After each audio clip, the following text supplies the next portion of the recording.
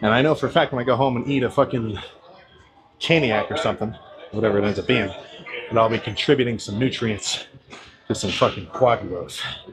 I, uh, I think I'm going to try to get into heavy squats again.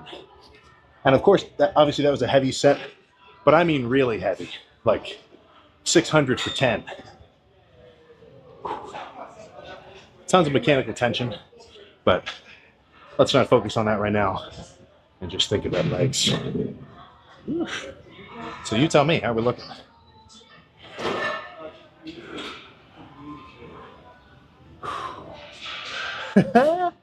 I'm satisfied with that, at least for now. So I definitely want to get these quads big enough where these pants don't even fit, or these shorts can't even fit around them.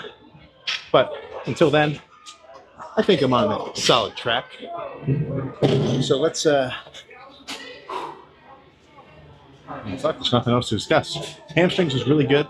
Even though it was just four sets, still, when I was sitting down on the leg extension, right after finishing hamstrings, getting to the top position of the leg extension felt like I was stretching my hamstrings so much because they're so tight just from being pumped up.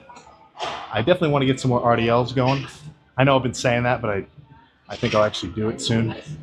But I don't know, man. Hamstrings feel so fucking good. Hamstring curls. And they're not too small either. But I think a little bit of hip hinging, it'll do me good.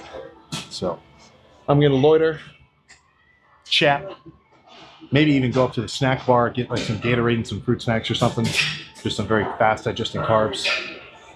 And go home and eat. So let's uh for me let's do all that, but for you let's uh let's cut to the freaking car.